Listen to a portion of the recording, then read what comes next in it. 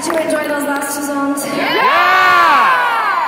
People usually walk into the into the uh, into the theater and they're like, "Why is she doing cover songs?" And I have like, that's why I have to give the backstory because they're not cover songs.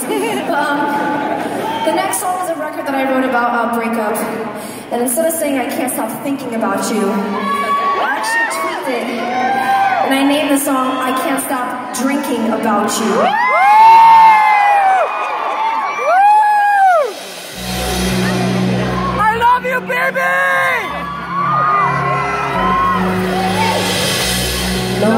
love you like I do No one's gonna care like I do.